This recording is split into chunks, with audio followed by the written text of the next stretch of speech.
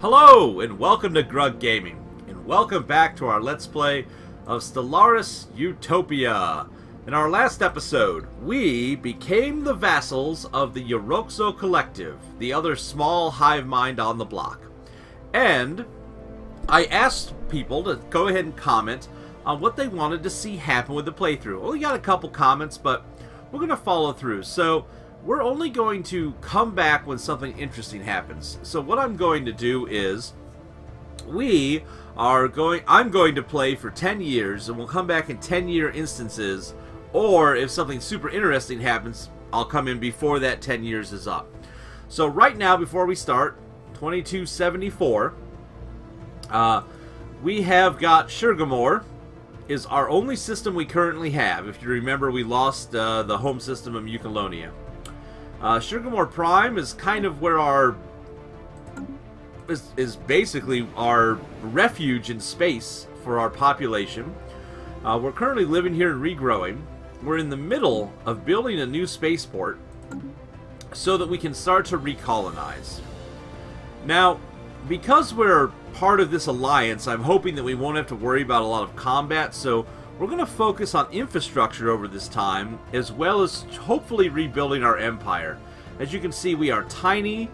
Everybody else rules space. We're hoping that by hitching our wagon to one of these guys, we are going to be okay. So folks, here's what's going to happen. We are going to zoom into the star of Sugarmore, and as we do, we will warp time, we will return in 10 years, or if something amazing happens, I will see you then! Folks, we're back for what looks to be a monumentous time. You'll notice um, that it's not been 10 years. It is not 2284. It is 2279. And you'll notice the system we're in is the Mucolonia system. And what has happened? Well, let us zoom out on the map.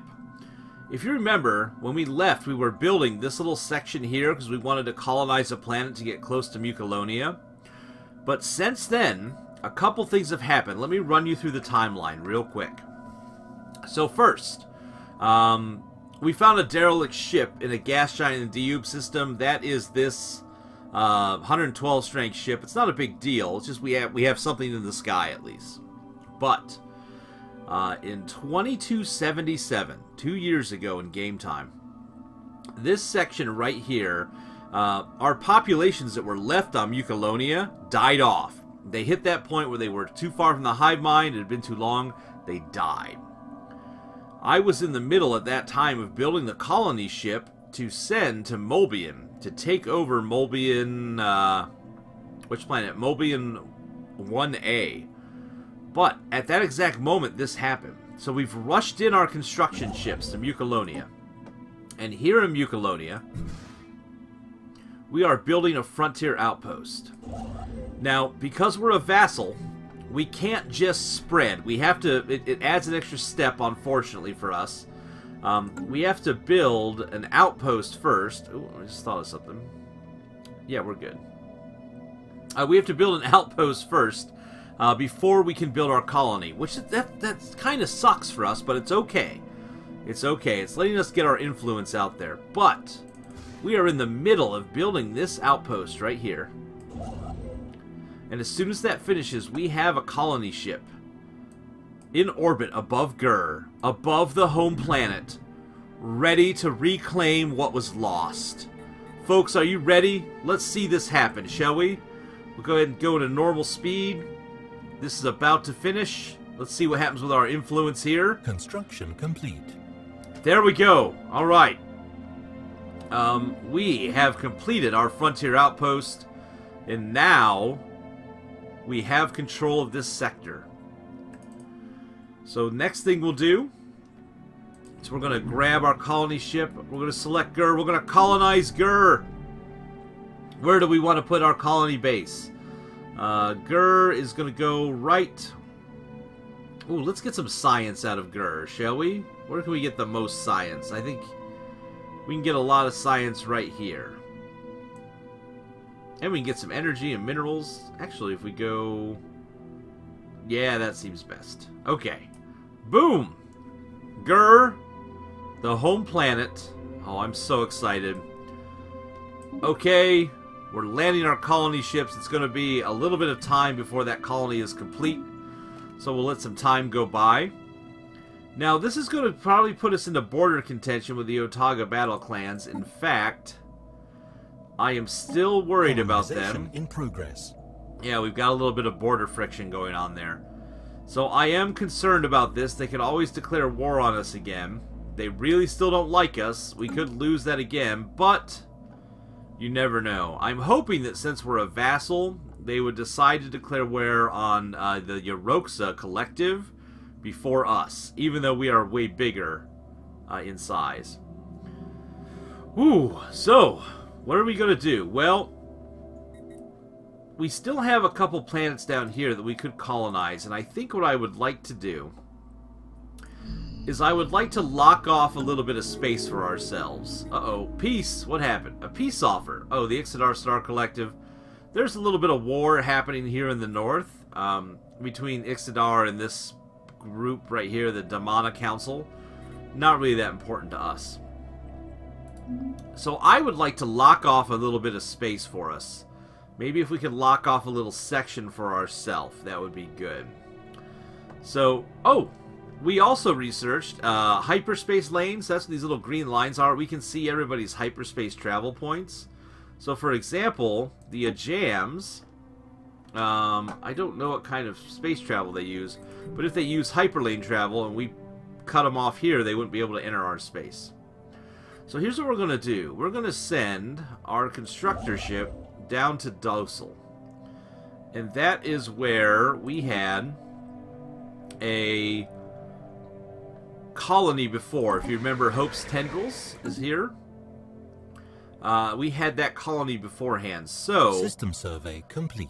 I'm going to try and send this ship down here and see if we can't get a hold, maybe lock off this part of space for ourselves. Hopefully the Otaga don't go to war with us. We're going to have to grow slowly.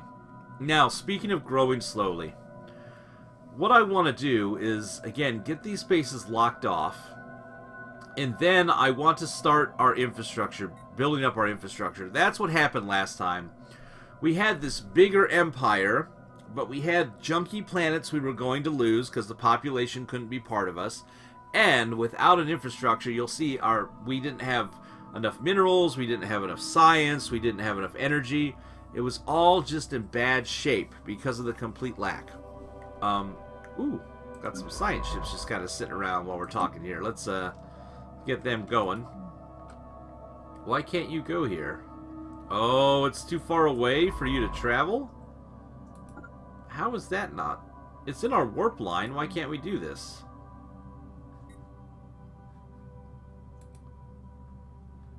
I can travel here, but not here. Weird. I don't know why I can't warp to that when it's obviously within my warp sphere. Huh. Well, we'll survey these systems then. Oh, maybe it's just too far away from from our actual home that we can't travel that far. Okay. So we've kind of gotten to the edge of where we can travel as well in the, the northern parts of space. So our ship's going to head down here. We're going to build a frontier outpost. Uh, our current monthly gain is 1.68. So we can afford to build one more frontier outpost and still be positive on our influence. So that is what we are going to do is build one right here. Uh, let's see. What should we look at? I'm also researching better warp technology because right now, to get from Sugarmore to the frontier, a ship has to go out this way and up through the Trunt system and then make its way over just because our warp engines aren't good enough. I want more powerful warp engines. So that's one thing we're currently researching as well. Uh, just so you can see our research while we're here. Uh, we are currently researching better warp, uh, the ability to build a planetary capital. Because we lost Gur, we no longer have a planetary capital, and without that we can't build some of the higher end structures, so we need to be able to do that. And of course we're researching better missiles, but that doesn't really matter. We're not, not, not doing a lot of fleet stuff right now. So here we are. Let's grab our construction ship and let's build a frontier outpost Anomaly right here. Uh, we've got an anomaly. Uh, detect some unusual energy readings from a planet. It might have been a glitch in our system. It could be a sign of something more. Go ahead and research that. So what we'll do is we'll colonize this, I think. So we'll do one more big colonization. Uh, can we afford it? Yeah, we can for now. I'm, I'm happy to do this. Spaceport. We can almost build another colony ship. I think once we get another colony going, then it's time for infrastructure. It's time to start uh, building up our the main planets we have once we get back to three colonies and just get those up and running. So we will wait a second here for our minerals to build back up. But I'm real excited because we're about to have Gur back in our back in place. Uh, Sugarmore Prime has built up a little bit of infrastructure as well. It kind of kind of sucks this building these colony ships.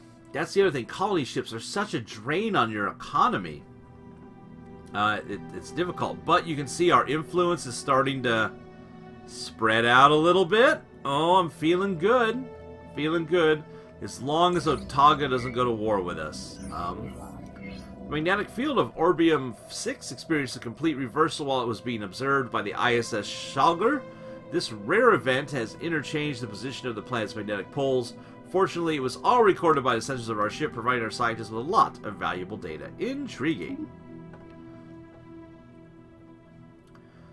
So, here we go. It's about to happen.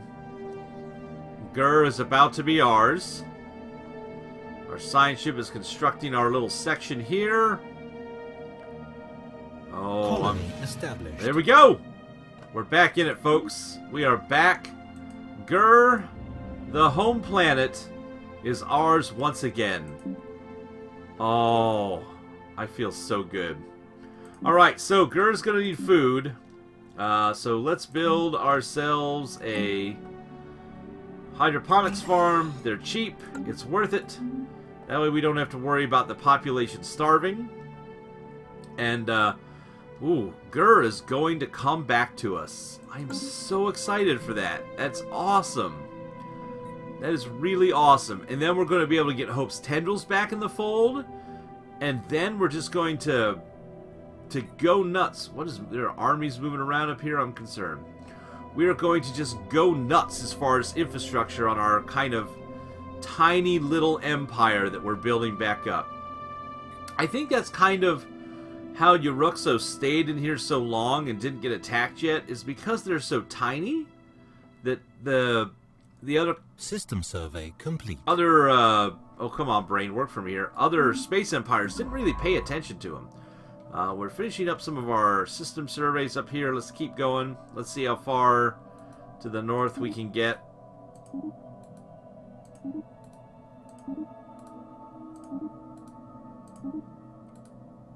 There we go. Uh, the Jehetma Coalition and the Jehetma, uh, the two Jehetma groups, which are right here, the Dominion and Coalition, these were a splinter group. One broke off from the other. They're still kind of fighting it out here among in between the Fafossans. Kind of neat that they've taken over this. Did they colonize here? Yeah, they did. Look at that. They put a colony right there in the middle of their space. That'll be interesting to see what happens. Uh, Gur is building up its hydroponics, and we're going to build one more colony ship. Boom. That's going to take about a year to build. So, folks, here's what's going to happen. I am going to break away. Uh, well, this, about 15 minutes is what this episode is at. We'll, we'll take a quick look here at Gur once it finishes before we break complete. away here. System survey complete. Alright. I don't care about the system survey. Let's go to Gur. Boop. Here we are. I am just super excited about this. Gur is back. So, Gur is going to need some infrastructure. We're going to be focusing on that for our planet, which is awesome.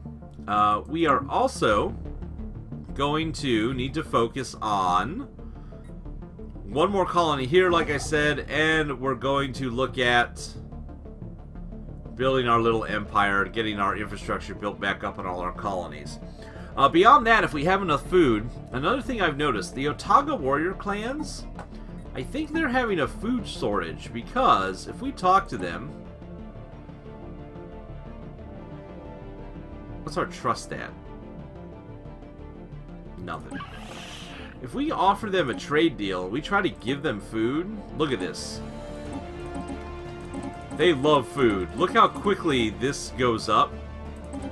So, I wonder if we gave them one food a month. Wouldn't up our trade deal? So if we give them one food a month for 30 years, we have the extra food. We're going to do that. Confirm. So, I'm going to start giving the Otaga Battle Clans food in the hope that that will... Uh, a fine gift, Slurpernord. You have our thanks. In the hope that that will lessen their hate for us. So we have a favorable trade deal, plus 22. Um, and I want to see if that, you know, kind of offsets some of these other problems we have. It's going to be a very long time before their hate of our genocidal ways uh, disappears, apparently.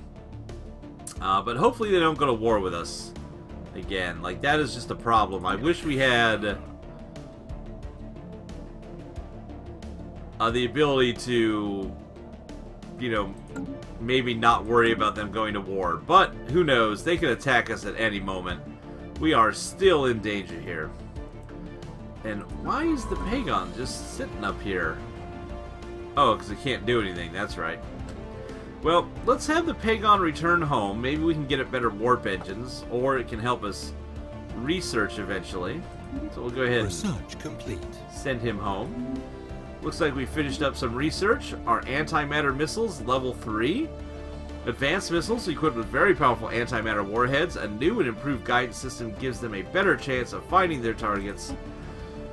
Okay, again, we're not looking at, at war.